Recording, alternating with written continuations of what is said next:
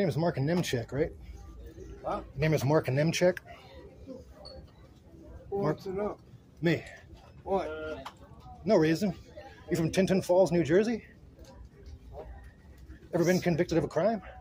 Huh? Ever been convicted of a crime? No. No? No. Your name's not Mark Niemczyk, is it? Huh? Your name Mark Niemczyk?